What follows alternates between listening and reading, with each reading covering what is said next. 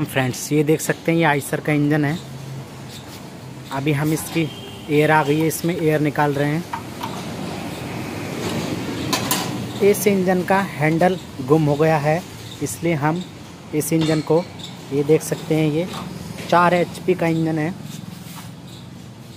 ये हमने इस पर पुली लगाई हुई है बेल्ट वाली। इस वाली बेल्ट की पुली पर बेल्ट चढ़ाकर, और ये देख सकते हैं, ये आइसर की इंजन की, ये जो पुली है, इस पर हम बेल्ट चढ़ाएँगे और इसको इस वाले इंजन से स्टार्ट करेंगे। पहले इसकी एयर निकाल लेते हैं हम। इसकी एयर शायद निकल गई है। ये देख सकते हैं, ये बी की बेल्ट है, इस पर चढ़ाएँगे हम दोनों इंजन पर एक साथ। इसकी बेल्ट चढ़ा लेते हैं अब अंदर वाले पे बाहर वाले पे वैसे भी चढ़ा दो अंदर बाहर वाले भी चढ़ा। इस वाले? पे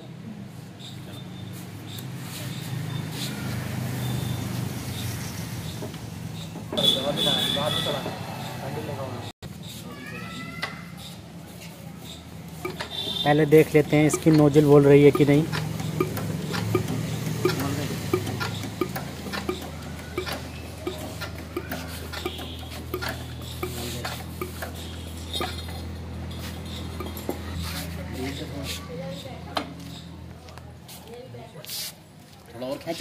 इसके बीच में पाइप लगा लेते हैं ताकि ये इनकी दूरी बनी रहे।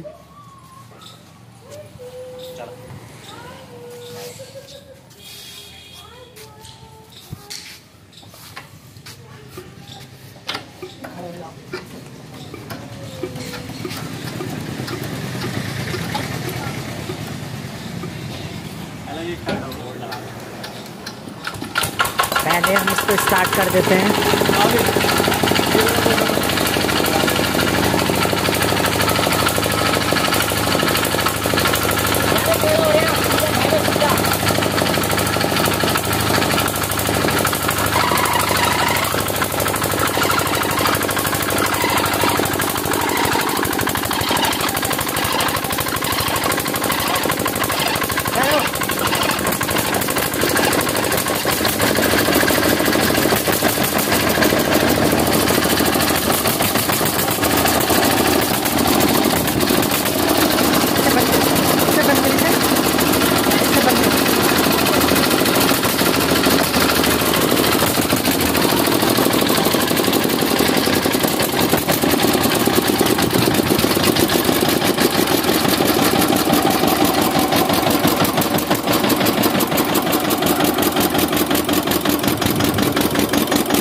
ये देखिए ये इंजन स्टार्ट हो गया है आप आई सर